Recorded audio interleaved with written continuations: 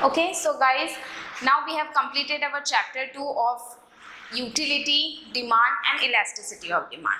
Now we will actually move forward to understanding the scope of microeconomics to our next chapter that is the production and cost.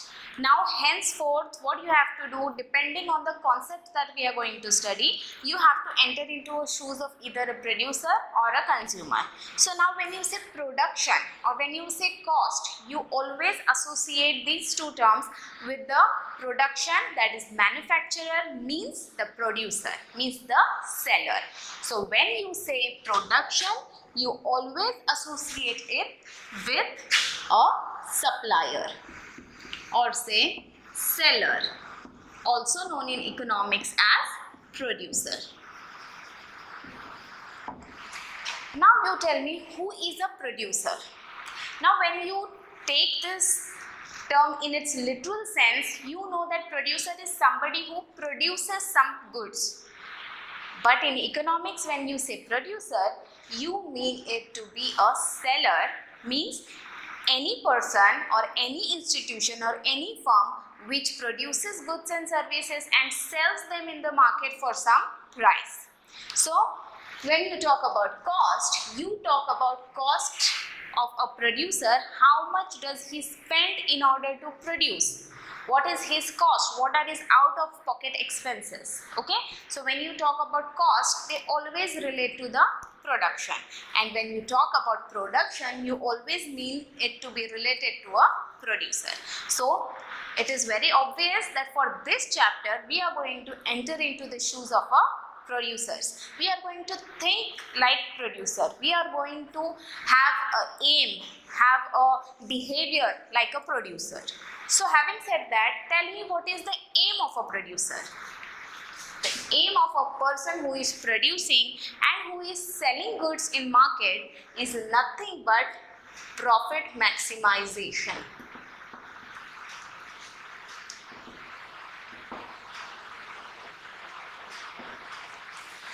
Now, when you say what, when I ask you the question, what is the aim of a producer? You will always think to earn profit. No, the apt term, the most accurate term is profit maximization. Anybody can earn profit.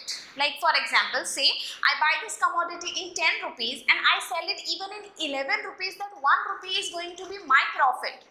But are the producers in an economy, are the sellers in an economy only interested to earn a little, little profit whenever possible? No. With the passage of time or with the movement from short run to say long run, they want to establish themselves. They want to earn as much as profit as possible, which means they have the sole intention of maximizing their profit. So it is said in economics that every producer and every seller is a ruthless profit maximizer. Meaning, if you have to literally understand how the producer work in a market or how are these prices determined in the market and how do they decide how much to vary, how much to increase, how much to decrease. Let's say for example, when there is a discount, they say 10% discount. Some brands say 50% discount. How do they determine how much discount to offer at what point? For that, we have to think and act like a producer. That is the entire scope of this chapter where we as a producers will determine what are the cost of hiring inputs in order to produce, what are the prices that we need to set for our product in the market and how can we maximize the profit.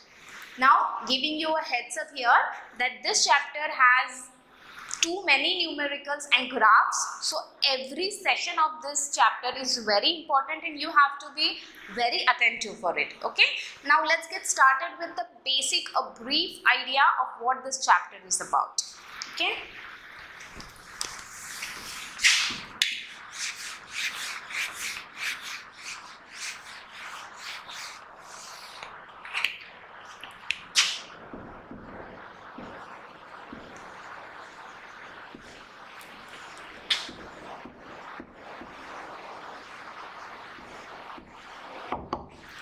Now let's start with the first activity. If you are a producer, today you decide to be a producer in the economy instead of a consumer. What will you have to do? The basic thing that you have to do is produce something in order to put it into the market to sell. So for producing, what will you do? You will just think that I want to produce say uh, consumer durable goods. Okay, I want to produce a fabric or out of a fabric I have to produce a cloth, I have to produce uniforms. So you just think and it happens? No, absolutely not. You will have to purchase something in order to produce and that finished product you will have to sell. By now I think you are very comfortable understanding that raw materials are needed in order to turn them into finished goods. Correct? So these raw materials are nothing but inputs. Right? So inputs are used by the producers and the finished goods or the products are nothing but output. These outputs are sold at some price. So when you associate the word cost, you always associate them with inputs which are purchased. And when you say price, you always associate it with finished goods means the output which producer is going to sell. So now we are safe to say that the difference between cost and the difference between the revenue earned by charging prices is nothing but profit. So then can I say that the consumer, the producer can charge as much price as he wants because the higher price that he charges, higher will be your profit? No. Are the consumers going to demand any product at higher prices? No, because we have understood in the previous lecture only that the law of demand means higher the price, lower is the quantity demanded. So the producer cannot charge arbitrary prices or higher prices as he likes in order to maximize profit. So what will he do? He will try to minimize his cost, means he will try to purchase at a very little cost so that his margin increases so that his profit gets maximized. So the basic two things that we have is the input. Input is nothing but the factors or the raw materials that you use in order to produce. And output is nothing but finished goods which the producer sells in the market in order to earn profit. So you are here aware that production function is nothing but a relationship between inputs used and outputs produced. Okay. Moving forward, we will understand the concept of inputs. When you talk about inputs, for convenience purpose, you understand it to be raw material. But inputs in economics basically are divided into four factors. These are land, labor, entrepreneur, and capital. So, henceforth, in any concept of economics or any law of economics, when you come across the word input, you always have to think about four factors. These factors are called as factors of production. These are the inputs that the producer use in order to carry out the production. Main four factors of production are land, labor, entrepreneur and capital. So, in order to use the land, what is the cost that the producer has to pay? For land, the cost that he pays is rent. For hiring the labor, what is the cost that he has to incur? Are the wages are the remuneration that he has to give to the labor that works in his factory or a manufacturing con concern.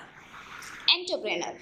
You know who is an entrepreneur? Entrepreneur is a person who is who generates this idea of business. He is a businessman in a normal terms but when you say entrepreneur you also mean the person who is originating the business by risking all of his assets or whatever he has invested so what is the reward that he is getting or On the other hand, if the business does not do so well, what is the cost at which he is putting his efforts into the business? It is profit. The thing that he gets in return as an entrepreneur is profit of the business that he is starting. And as regards to capital, what is capital? Capital is the money or the asset that you invest into business, means cash or cash equivalent.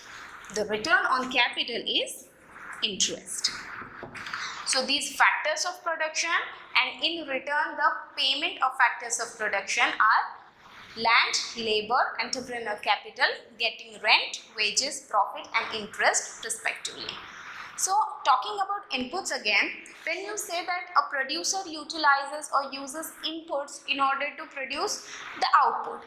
Now you have to understand that when I said the consume, the producer will try to minimize the cost in order to maximize his profit but it is always not possible like for example say you have just started the business you have just entered into playing the role of a producer you have rented a premises and started the production there. Now even if like say in one year you did not produce anything you are just setting up the business you know making contacts collecting clients and say you did not produce enough. So will you be you know excused from paying the rent? No you will have to pay the rent in spite of the fact that you did not earn anything so the cost that you have to incur in the short run when you have just started are fixed cost. You are not going to exclude or eliminate the possibility of paying those costs in order to minimize the cost means you can minimize the cost in order to earn more profit or in order to maximize the profit but it is not always possible for every producer to minimize the cost. So he has to in you know he has to take some strategies. He has to apply some strategies. So these strategies in economics are not just theoretical. They are based on the numerical examples some calculations some laws some graphs and using all those techniques he can decide whether to produce or whether to just give up or how to minimize the cost and how to maximize the profit. So these are the four factors which are necessary for production. But depending on the business or depending on the nature and size of business, you can decide which of the factors are utilized and which factors are not utilize. It is not so that every business has to utilize these four factors or every business has to utilize these four factors into same proportion, exactly the same. No. Economics is a subjective concept. It studies human behavior. So in order to study the human behavior, you have to understand that these factors and their proportion of utilization as inputs in any production function will vary from person to person or from business to business. So let's see. Now we have understood what is input. Now what do you mean by cost of input? Let's say for example that you are renting a land and then you have to pay rent let's say for example 1 lakh 20,000. Now we are obviously calculating the per annum. Okay. The land rent is 1 lakh 20,000 means this is the cost of input that you are utilizing. And say let's say you produce the goods and you are selling the goods the prices of goods that you have set is rupees 20 per unit. And in a year whatever you sold the sales same annual the sales per annum the sales in one year in terms of unit were 8000 units. Now you tell me in a year how much did you earn as a revenue? So what will you do when you are calculating the total revenue? Revenue is nothing but what receipts uh, you are earning in a business. So it is obviously quantity that you have sold in a business in the given year into the price of product. The price of product is 20 and 8000 units you have sold. Means what you are going to do? You are just going to multiply. It's going to be 1 lakh 60,000. Now for 1 lakh 60,000 that you have earned, the cost that you have spent is 1 lakh 20. Means is this deal a profit making deal for you? What you have to do is just to compare the price and to compare the cost. You have earned 1 lakh 60,000 but you have spent 1 lakh 20,000 as a cost. Means yes obviously the profit that you have earned here is rupees 40,000. So this deal is a profit making, making deal for you, right? This is how you determine whether you have to proceed with the production or not, okay?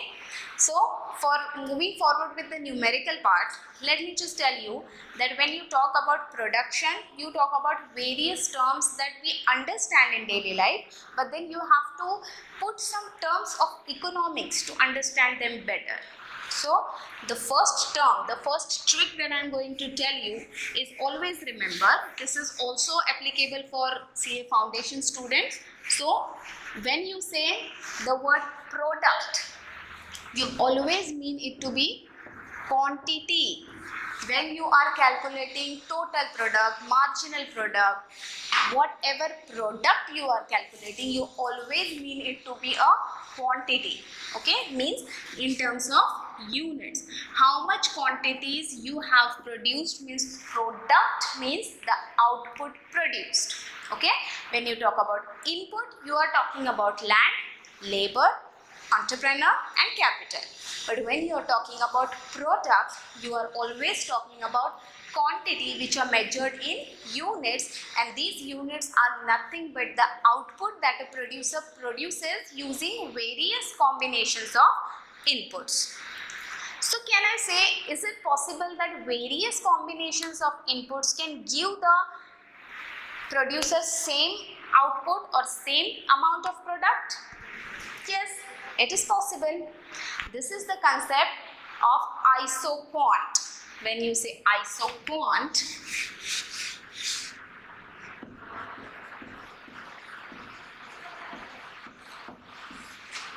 you know iso is same and quant is nothing but quantity means isoquant is a curve which shows I'll just put it in the graph here these are the isoquants which tell you that this is factor 1 and this is factor 2 Isoquant shows you the combination, all possible combinations of various factors of production that will yield the same amount of product for the producer. When you see this graph, there is one concept that you have already studied that looks exactly like this. That is the indifference curve only difference between isoquant and the indifference curve is in indifference curve you are thinking as a consumer who is trying to maximize or who is trying to equalize his utility in two different products consumed. Similarly, here in isoquant, the producer is trying to match all possible combinations which will yield him the same amount of quantity or output produced. Okay. So this is also convex to the origin because if you want to take or utilize more of one factor, you will have to decrease or sacrifice the use of other factor. Okay. Now let's start with the proper chapter. Now that you have understood what is the product, how does the inputs how does the producer use the input or decide the proportion of inputs? Let's move forward with understanding the two basic concepts that is the short run and the long run.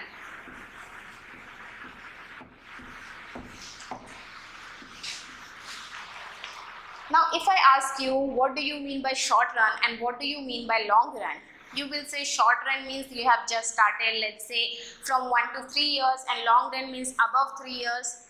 But that's not the case in economics. In economics you do not differentiate the short run and long run in terms of number of years. You always use it to associate with the inputs or the proportion of inputs or the types of inputs that you use I'll just straight away tell you in economics, short run is defined as a period where one factor is fixed and other factors, how much soever you use, are variable. And in long run, it is said that all the factors are variable. Now here, you will come across two main concepts that is what is fixed and what is variable. So when you say some factors are fixed, it refers to the previous example that I gave you of rent. That even if you do not produce anything, you will have to pay the rent because you have hired the premises, you have hired the land to be used as input. So fixed factors are those factors which will not change. They will not change with change in level of production. They will remain constant. They won't change. Okay. So I'll just write here when you talk about fixed, you talk about the inputs or the level of inputs do not change with the level of output. These are fixed. But when you say variable, you know this word comes from variation, means change. Means variable factors are those factors which can be changed, means there can be a change in input with change in output. So, when the producer is in the short run, there is always one factor which is going to remain fixed. Means with the change in his level of output or level of production, the producer is not in the capacity to change this factor.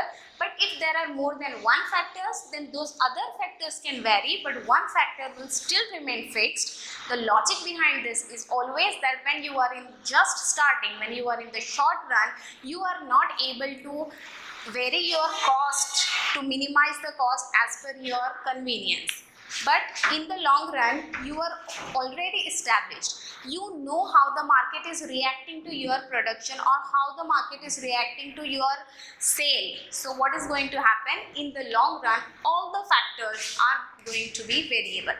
All the factors of production are going to vary and you are in the position to vary them as per the level of your output.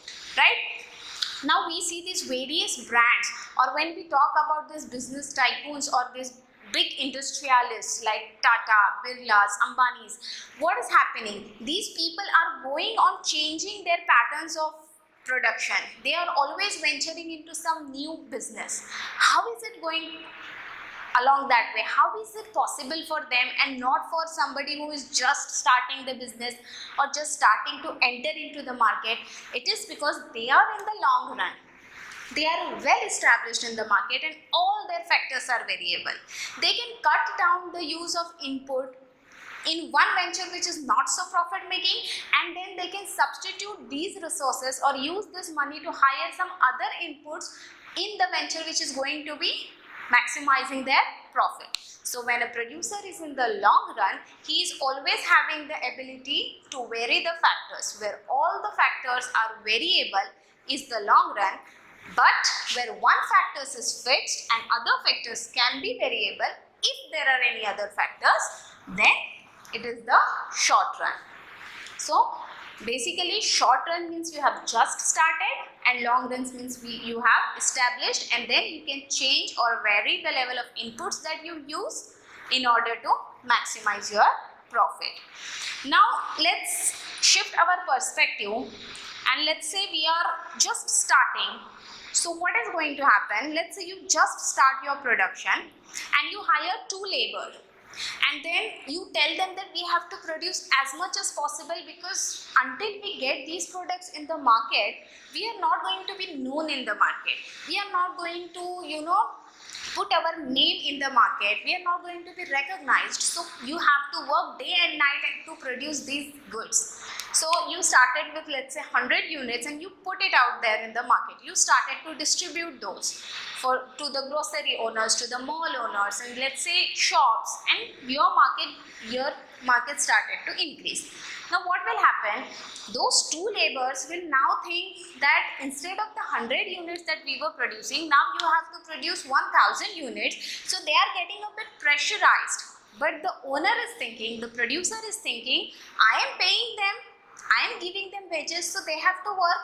So he will put the pressure on them to work until they reach a point that he will think no, the work is too much but the labors are insufficient. So what he will have to do, he will have to employ more labor in order to increase his production.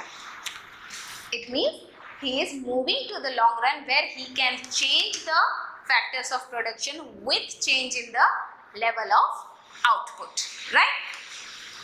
Unlike the short run where he was putting pressure on those two labors only because initially in 100 units what is happening? That they are underperforming. Like they are having much leisure time. They are just sitting idle and in small time let's say in 8 hours of duty they are only utilizing 5 hours of productive capacity and they are producing 100 units. At that time he was just starting. He had that much only demand. But as the time passes as the market for his product grows he also tells the labor to put in more productive hours. But here he cannot vary the other factors because now right now he has the price concern. He has the cost concern in his mind right? But when the market for his product increases when he started to realize that yes my product is going good in the market so now i will have to hire more labor so that i will have to increase my level of production. At that time you can see he moves from short run to the long run. Okay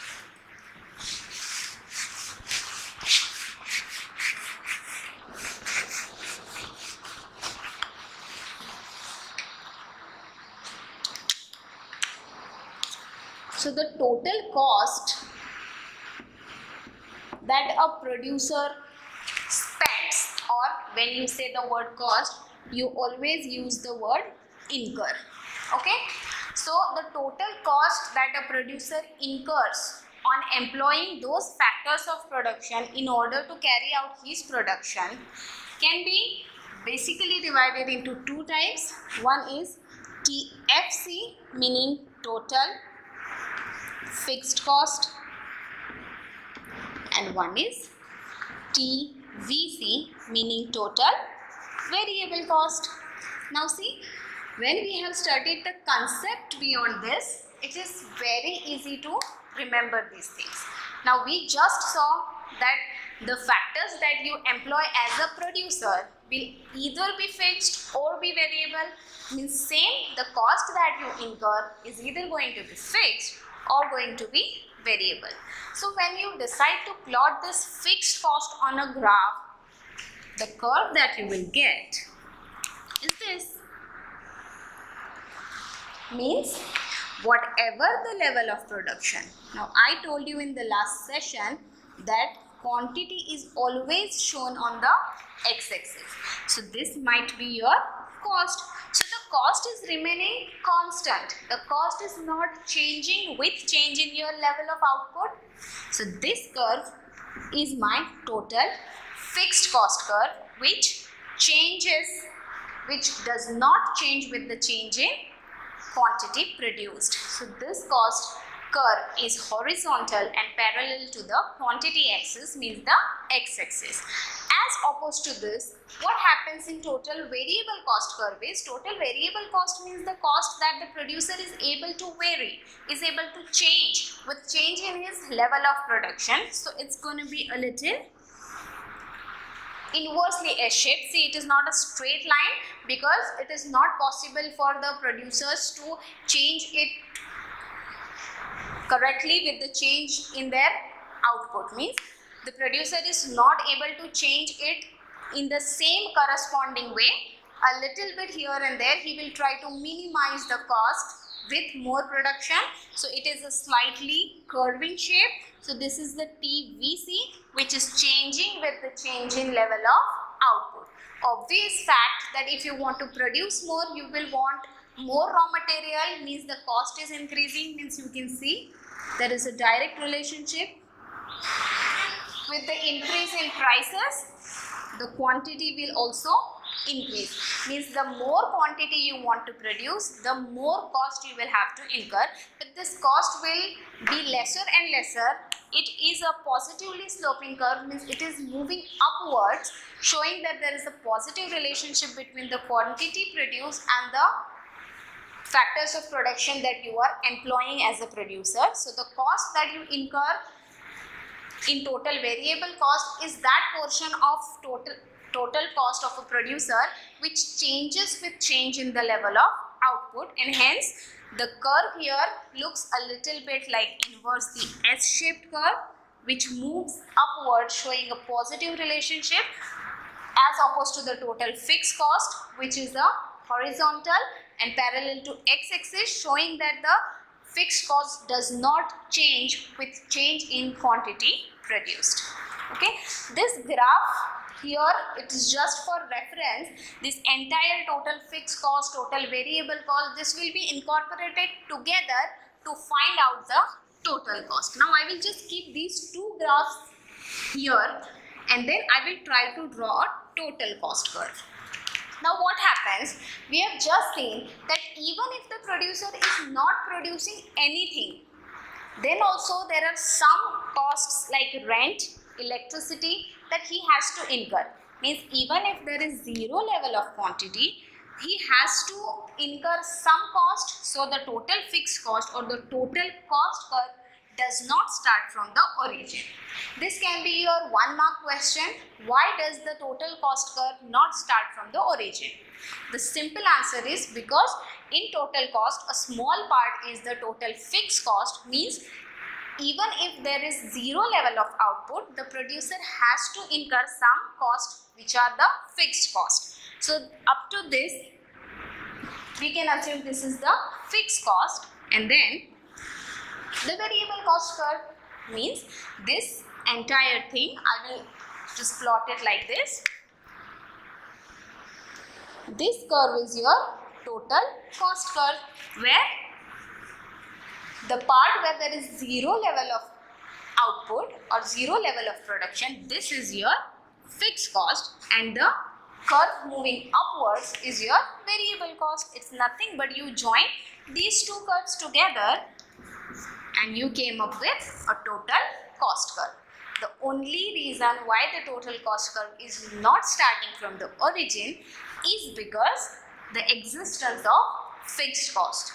Fixed cost means even if the producer is not producing anything, even if he earns no revenue absolutely due to zero production, he has to incur some cost because he is just starting, he is in the short run and one factor is going to be fixed and that factor will have to be paid means the consumer, the producer has to incur some cost that is your fixed cost.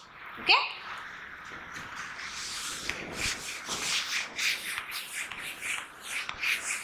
So basically in this session what we have studied is who is a producer, what is a production function, how the inputs are utilized to produce output, what is the meaning of the term product which means quantity only and how does the producer differentiate between his cost, what are the types, basic types of cost.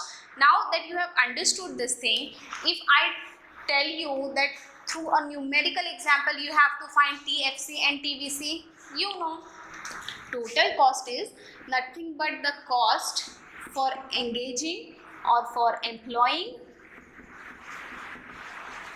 any input. So out of this total cost if I say find the total fixed cost what will you say? That from the total cost if you remove the total variable cost you will get the total fixed cost. And by just shuffling the equation if I tell you tell me what is the total variable cost? You will say remove the fixed factor from the total cost. So total cost minus total fixed cost is nothing but your total variable cost. Now these are the basic things that you can understand in terms of equations. The same thing you have to apply in numericals. It's not much hard but at one given point of time they will tell you to calculate three or four answers. So you just don't have to worry about it. The only thing is you have to keep this conceptual knowledge in your subconscious. So when i say total cost you always have to associate it with the inputs that a producer is employing. So for employing any input whatever remuneration you are paying is nothing but your total cost. The total cost consists of two parts total fixed cost and total variable cost. If you remove one part, you will get the answer for the second part, right? So, now this is just the total value. What happens when the producer moves from one production cycle to the another means this is his starting year and he has calculated his TC, TFC and TVC. So now he wants to decide how much to produce for the next year. So he will always go for an average like for example, in your one academic year, what happens when your annual exams are done, the results sheets that you get also contain your average. They also monitor your all the semesters, all the assessments of all exams taken during the year and they tell you on an average you were this. Means in the last exam you performed like very good and you got 80% but previous all exams you did not perform very well. So when you take out the average to know how did you perform in the last year, you are going to be not much higher, you are just going to be at par. What does that mean? That when a producer wants to decide if he is profitable or not in the last year, he will have to consider the averages. When you consider the averages, you always divide it by the quantity. So when you say, I want to calculate average cost AC. What are you talking about? You are talking about C means the cost. So take the total value. So I will say total cost upon the quantity. Right? Total cost upon quantity will give you the average cost. So when I talk about the next element TFC, so I want to find the average fixed cost. What am I finding? The average for a fixed cost. So again, take your total TFC and you know what is the denominator. The denominator is always going to be quantity. Similarly, when you say average variable cost, what was the average of all the costs that I varied that I changed due to the level of production in the last year that is nothing but whatever was my total variable cost divided by quantity it shows me how much portion of the total cost that I change that I can associate with one quantity that I produced using the inputs. So it is TVC divided by Q. Now these formulas look very easy to remember but the logic behind this you will always use in the various numericals that we are going to study throughout is that whatever average you are trying to find out just associate it with the total of that cost divided by the quantity. Means when you talk about average cost you are talking about total cost divided by quantity. This divided by quantity is always constant because when you talk about average, you always talk about dividing it. You always talk about per unit. So I can say my average cost is nothing but total cost per unit of output produced or total cost which I can associate with the quantity of inputs that I used as my factors of production. Okay, that will be the introductory session for today. And now we will, in the next session, we will start with all these numericals and the laws of short run and long run. Okay, thank you.